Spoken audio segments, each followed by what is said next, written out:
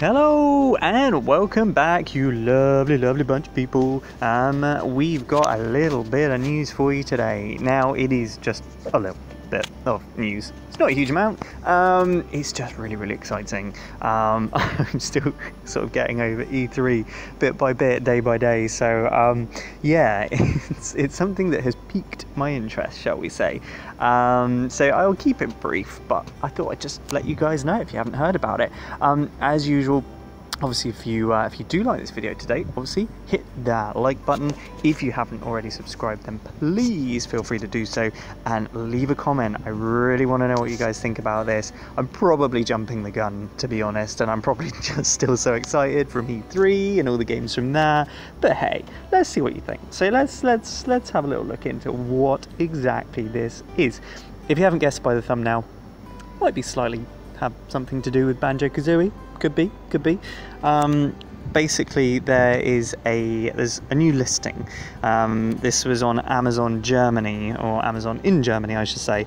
Um, it's um, basically it translates to um, Banjo Kazooie working title. Now, I know Banjo is obviously we have now seen it's coming to Smash Fall. Now, this says it's a working title for Nintendo Switch, not Xbox. Um, which is odd because obviously Microsoft owns the IP, so it's kind of like okay. Um, so I, I'm hoping that who knows? You know, I know it's exciting, and yes, once again, it should be taken with a pinch of salt. But oh my god, can you just imagine the excitement if this is actually a new banjo game? Oh my god, I'm imagining if it was, we would have heard something by now, a little, at least a little bit at E3, or who knows, maybe we will in the next couple of weeks. I mean, let's face it, you know, we're all waiting now to hear about the next sort of Switch um, additions, whether it be a, a, mini or a pro or both. So who knows? They might just drop a massive banjo-shaped bomb on our head or a jigsaw piece, as it would be. Um, but, but, yeah, so it just kind of it caught my attention. Um, the, it's um, they put it up there December 31st. Um, obviously, it's like a like a placeholder. Now, it, it might just be what it could be is obviously like a Super Smash Ultimate amiibo. It's probably what it is, to be fair. Um, but yeah, it just got me a little bit excited. That's all. So I apologise if I've wasted your time coming all this way and watching this video today, but I just got really excited and wanted to share it with you.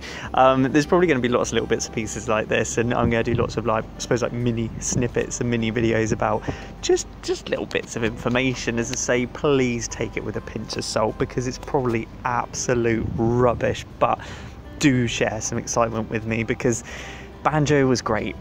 Love seeing Banjo. I love seeing what he looked like, and I think he looks great. That is what he should like look like in this day and age, not what Xbox did to him yes, Microsoft own the IP, but who knows? You know, Microsoft and Nintendo, they're pretty pally pally, so maybe, maybe, who knows? Um, but anyway, I'm going to leave it there. I'm rambling now, so I'm going to leave it there. Um, thank you, as always, guys and girls, for watching. Really, really appreciate it. Do once again let me know your thoughts in the comments below. And as usual, whatever it is that you're doing today, have a wonderful time. Love to you all. Take care. Bye bye.